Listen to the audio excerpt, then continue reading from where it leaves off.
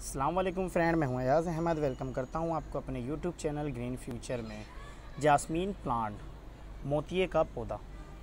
मोतिये का पौधा जो कि हम गजरे के अंदर देखते हैं, इसके फूल जो होते हैं, इसकी फ्लावरिंग जो होती हैं, वो जो लेडीज़ का गजरा होता है मार्केट के अंदर अवेलेबल होता है, जो शादी में हमें यूज़ करा जाता है, उसके अंदर इसके फ्लावर लगते हैं. इस प्लांट के अंदर एक भी फ्लावर अभी नहीं है.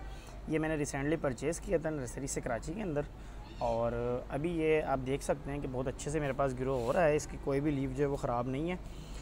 बाय द वे इसके अंदर थोड़ी सी एक बात जो मैं आपको बताना चाह रहा था डिस्कस करना चाह रहा था, वो ये है कि अमूमन लोग बोलते हैं कि इसको जो है वो कटिंग करना चाहिए है। सपोज़ डेट कि यहाँ पर ये इसकी ब्रांच जो है वो ख़त्म हो गई है तो वो कहते हैं कि इसको यहाँ से जो है वो क्रॉपिंग कर दें या यहाँ से काट दें या यहाँ से इसके लीव जो हैं वो आप तोड़ दें तो इसके अंदर जो है वो फ्लावरिंग होना शुरू हो जाएगी और ये जो है बढ़ना शुरू हो जाएगा। ऐसा कुछ भी नहीं है। मेन पर्पज़ जो होता है, वो पोट का होता है, इसका जो पोट है, वो छोटा है। ये जो है, आठ इंच का पोट है, आठ इंच और छः इंच का जो पोट होता है, वो छोटा पोट तस्वूर करा जाता है। उसके अंदर कटिंग लगाई जाती है ग्रो करने के लिए। तो इसके अंदर भी नर्सरी वालों ने इसके अंदर ये कटिंग लगाई होगी अगर मैं करीब से आपको दिखा सकूँ तो ये कटिंग उन्होंने लगाई होगी उसके बाद ये कटिंग बड़ी होते होते आज ये एक अच्छा खासा दो फिट का पौधा बन चुका है।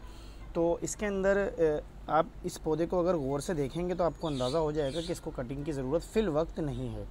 ये देख सकते हैं आप कि यहाँ से ये एक इसकी शूट होएगी जो कि ये ख़त्म हो गई। ये ख़त्म होने की सूरत में इसके अंदर ये दो ब्रांचेस न्यू निकल आई हैं और अभी ये ऊपर जा रही हैं। इसी तरह आप इधर आ जाएँ।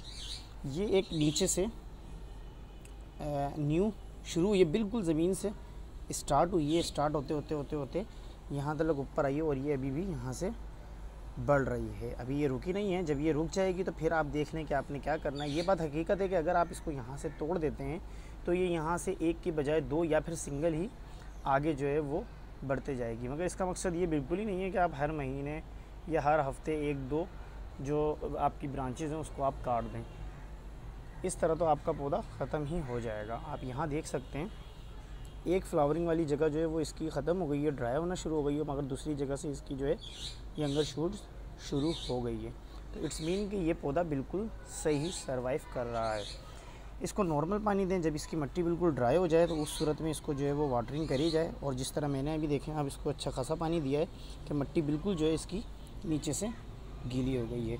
जब ठंड ठंड का मौसम हो जाएगा, ठंडा हो जाएगा मौसम, ठंड आ जाएगी तो उस सूरत में ये पौधा इतने अच्छे से सर्वाइव नहीं कर सकता और ना ही ये इतना अच्छा सा ग्रीन रहेगा। तो उस सूरत में आप जो है काउ डंग इस्तेमाल कर सकते हैं, गाय का गोबर, वो लेके आप इसके अंदर डाल दें। तो उससे जो है काफ़ी जो है वो हीट पैदा होती है, जिसकी वजह से ये पौधा जो है वो अच्छा सर्वाइव करेगा।